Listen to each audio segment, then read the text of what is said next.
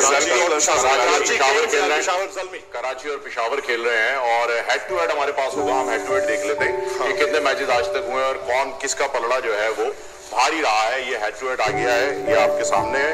और विन जो है वो कराची किंग ने पाँच किए हैं पिशावर जलमी ने दो किए हैं। यानी पलड़ा जो है वो कराची किंग्स का हर सूरत यहाँ पर भारी नज़र आ रहा है।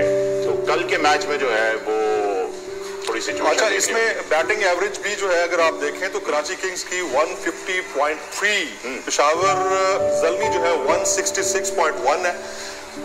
मैक्सिमम टोटल कराची किंग्स ने 201 रन जबकि पिशावर जल्मी ने 203 रन स्कोर किया है। और minimum total Karachi Kings 108 and Peshawar Zalmi 109 सबसे पहले सैकी भाई देखिए होता ही है आप कौन आप जीतेगा प्रेडिक्शन ले रहे हैं?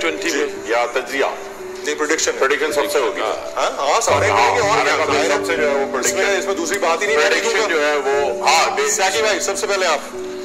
देखिए कराची पिशावर। दिल तो मेरा पिशावर की तरफ़ जा रहा है। बस फिर दिल की सुने क्योंकि लाहौर से पिशावर ज़्यादा करीब है कराची दूर है तो दिल दिल को अगर देखते हो तो इस वजह से। दिल की सुने। देखिए थोड़ा सा इसको मैं अ, थोड़ा सा इसके ऊपर बात करना चाहूँगा कि.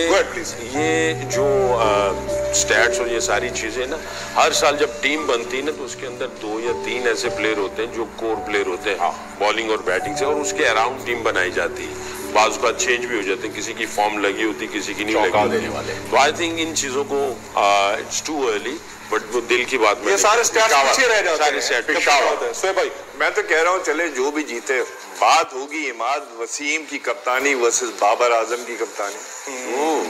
इमाद या बाबर? क्योंकि- इमाद या बाबर? हाँ? इमाद या बाबर? मुझे लग रहा है कि प्रोबेबली इमाद उसकी वजह ये है कि पिशावर जल्मी की जो गेंदबाजी है ना वो जरा सी वीक है। वहाब रियाज जरा से थक गए हैं अपने उस एंड पे करियर पे हैं।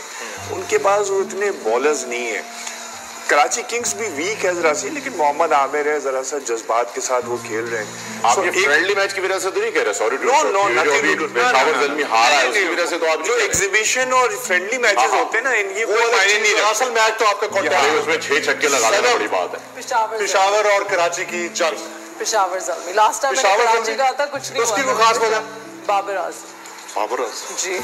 Very right very right चलें जी आप आप आप आ जाए। सर मैं कराची किंग्स कराची के? ओ definitely being a Karachi at Karachi Kings last PSL में कराची किंग्स ने एक मैच जीता था वो भी आखिरी अल्लाह अल्लाह करके। हाँ। उस पे भी उससे पहले तक हम कराची किंग्स के साथ थे कि भाई कराची से जो है जब वो जीता था आप उसके against उसकी वजह ये है कि कराची आ। गई सर आप बताएँ।